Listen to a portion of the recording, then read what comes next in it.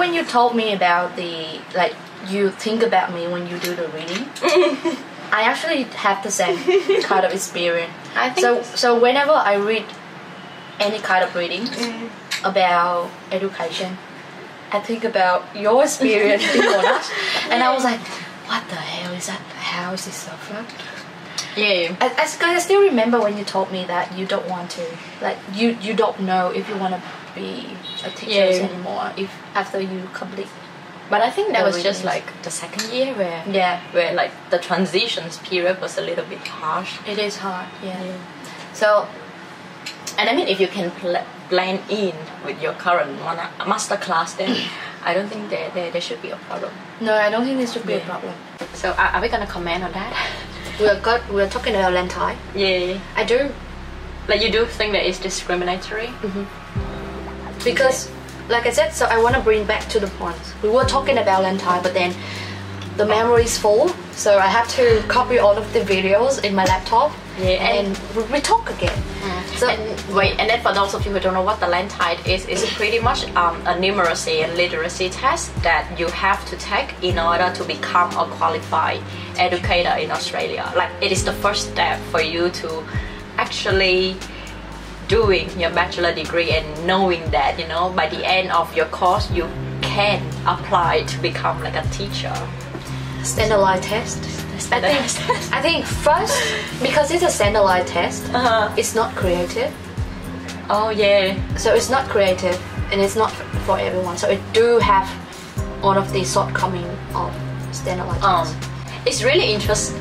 Should I say it's interesting because the fact that you you pass the LANTITE um, test, it kind of signal to the to the Department of Education that um, you are among the top 10% of the populations, and that's why you're qualified to be a teacher.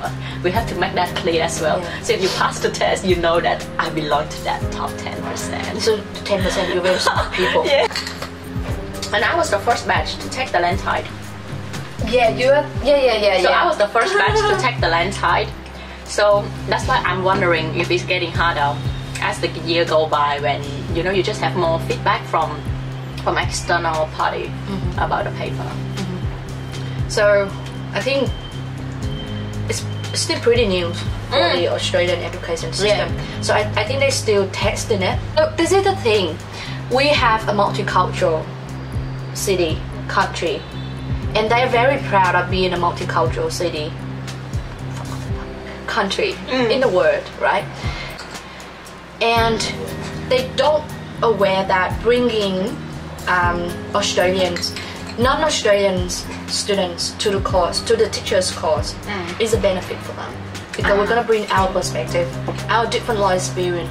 That we're gonna be- benefit the society in the long term, mm. for the long run.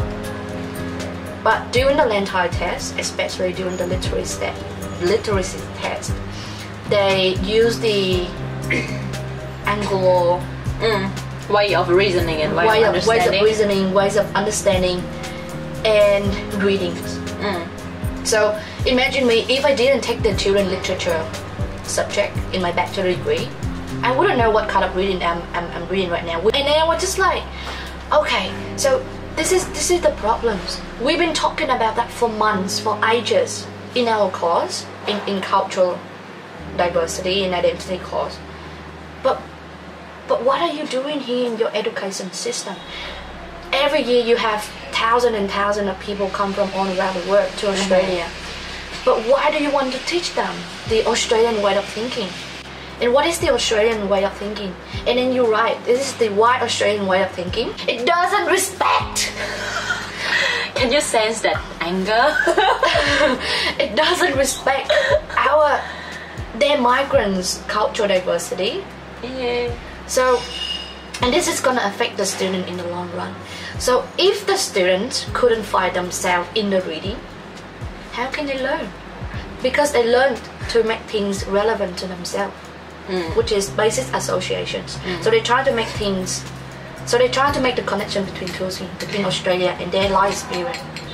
But when they look at the textbook, hmm. they only think about, they only see They don't see themselves. they don't see themselves. They only see something. They see everything, but not their culture. So they still try to assimilate migrants, people from non-English speaking country, non-white, to the Australian culture. And how can it benefit the country? You get what?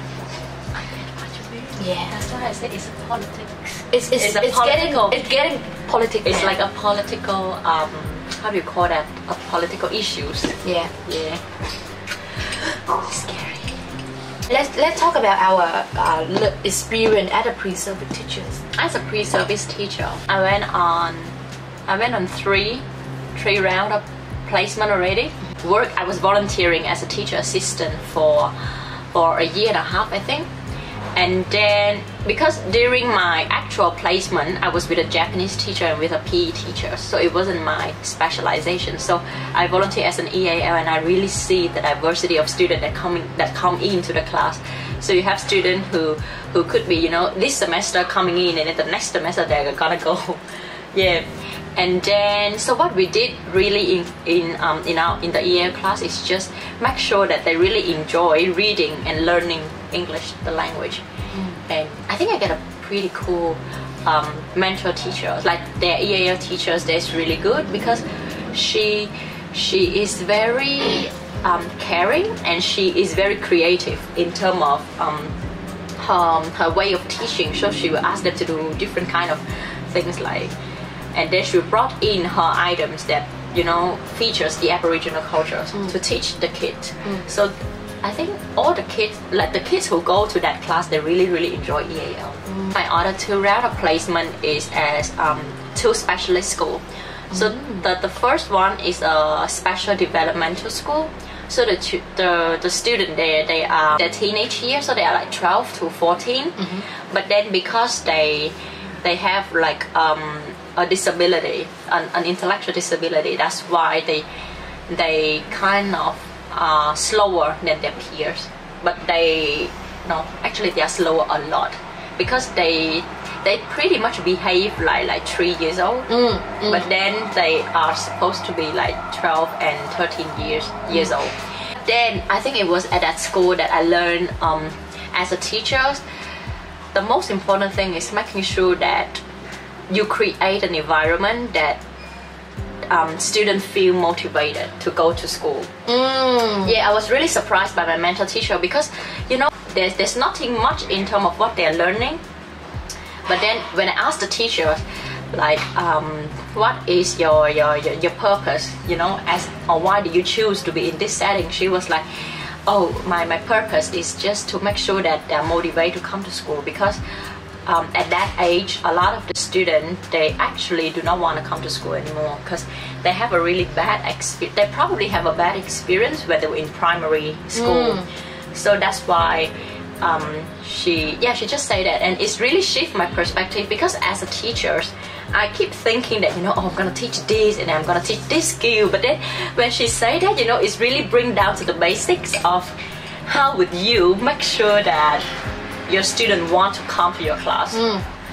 Yeah, so and and and um, so she she actually shed light on two things. The first one is that motivations, and then the second one is the meaning of persistence. Because, like as an able uh, person, we would expect a student to you know work hours and hours on like the same type of questions for them to understand. For example, if you don't know how to do math, you just spend time practicing. But then for these kids, for them sitting down for five minutes, you know, using holding on to like a pencil is already persistent. Mm. So it's really you see every um, deep, deep definitions being bring down to like the very basic level. But I think that is what, as educator, we have to remember mm. because sometimes we will just rush our student through everything. Yeah. Yeah. To knowledge. Yep. Yeah. Love that. And that was so good, you know.